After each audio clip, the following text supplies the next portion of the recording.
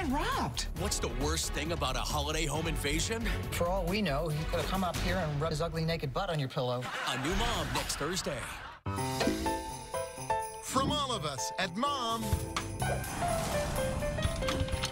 happy holidays.